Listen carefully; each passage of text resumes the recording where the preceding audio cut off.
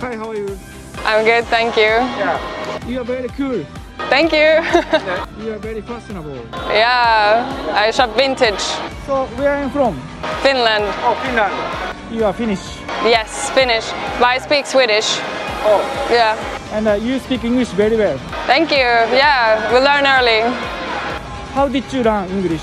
Uh, we learned from an early age in school, but also we're really um, we watch like and listen to a lot of English speaking music. So like yeah, through through the arts. Oh, I see. so, how long do you stay in Japan? I've been here since March.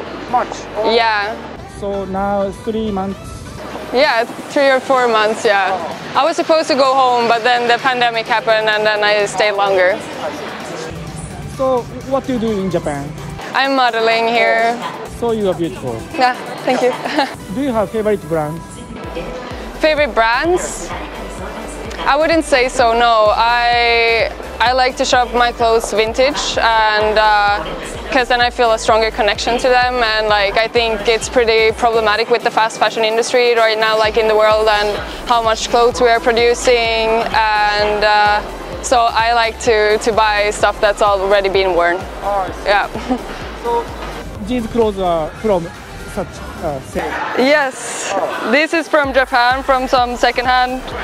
This is actually Versace, but uh, also from a from a secondhand op shop. Wow. Yeah. You are so fashionable. ah, thank you. Yeah, yeah. okay. What are you doing today?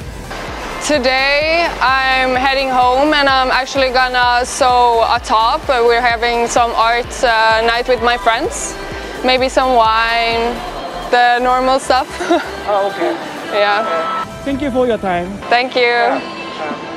Nice to meet you. Nice to meet you too. Bye.